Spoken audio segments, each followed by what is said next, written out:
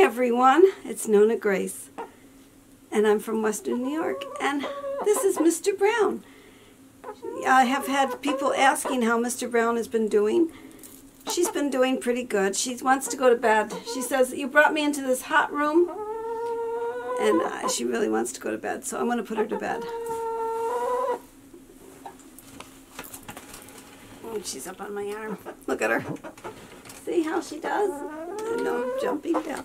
I gotta go put her to bed. Well, I hope you all had a good day today. I had a quiet day. I did a lot of watching of videos. I can't Chromecast a lot of you to the TV anymore because my iPads are getting old. They keep saying update, and then when you say cancel, it just closes out. So I can't update, and I can't can't um Chromecast either. So I watched you on the computer, which I, do, I prefer not to watch you on the computer because when I have you on the television, I can do other things in the kitchen or in the living room and I can turn you up really loud and heaven help anybody that comes into the house. Or if the phone rings, I have to run, hurry up and turn it down.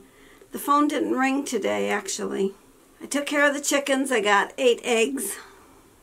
And that ice block that I had put outside is still ice today.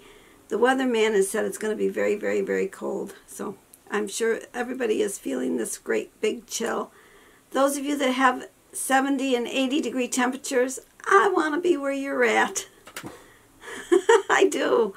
I don't like the cold. It's it's too cold. In fact, I run outside to get the eggs and I hurry back in and the dog, I have to say, go out and go pee-pee, and then I have to stand there to watch to make sure he goes because he'll look back to see if I'm looking, and if I'm not looking, he'll just run back to the door.